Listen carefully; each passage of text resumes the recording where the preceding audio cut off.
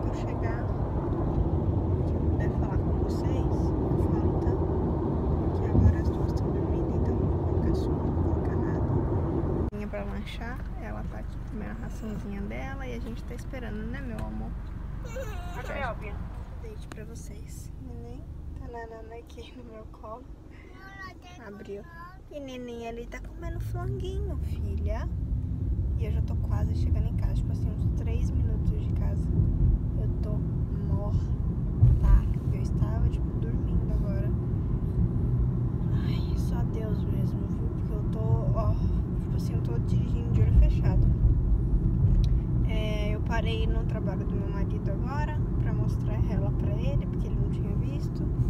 E pra ela fazer xixi, cocô, e ela fez xixi, ela fez cocô. E pra Georgia brincar um pouco, né, com ela, pra depois a gente andar mais um pouco até aqui em casa. Então eu cheguei lá, era tipo